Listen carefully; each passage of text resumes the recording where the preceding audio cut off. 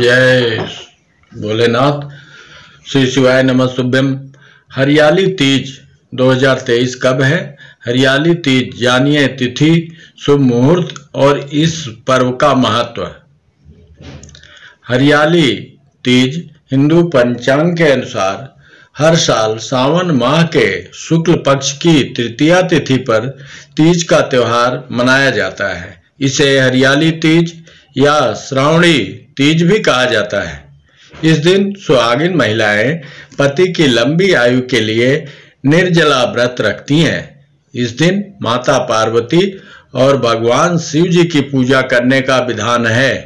सुहागिन महिलाएँ जहाँ अपने पति की दीर्घायु और संतान की प्राप्ति के लिए हरियाली तीज का व्रत रखती हैं, वहीं कुंवारी लड़कियाँ सुयोग बर पाने के लिए अच्छा पति मिले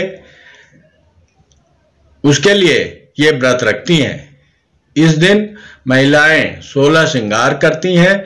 हरियाली तीज पर, हरे रंग का महत्व होने की वजह से महिलाएँ इस दिन हरी साड़ी और कांच की हरी चूड़ियाँ ज़रूर पहनती हैं। ऐसे में चलिए जानते हैं, हरियाली तीज की तिथि, पूजा विधि और महत्व के बारे में।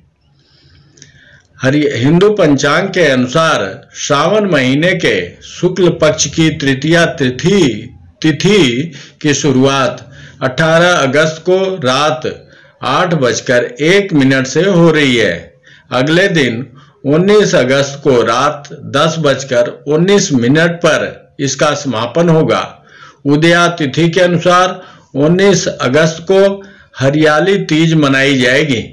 हरियाली तीज की पूजा सामग्री, माँ पार्वती और शिव जी की मूर्ति, पूजा के लिए चौकी, पीला वस्त्र, कच्चा सूत, नए वस्त्र, केला के पत्ते बेल पत्र भाँग, धतूरा, शमी के पत्ते, जनेऊ, जटा, नारियल, सुपारी, कलश अच्छत चावल, दुर्वा घास, घी, कपूर, अबीर, गुलाल, श्रीफल चंदन, गाय का दूध, गंगा जल, दही, मिश्री, शहद, पंचामृत।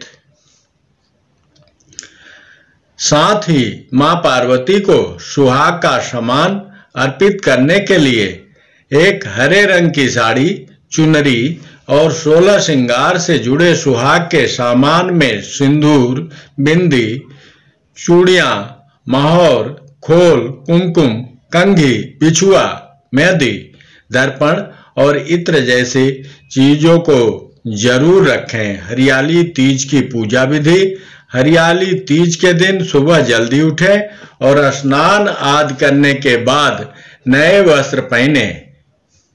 इस दिन सोलह श्रृंगार ज़रूर करें और पूरे दिन व्रत रहें।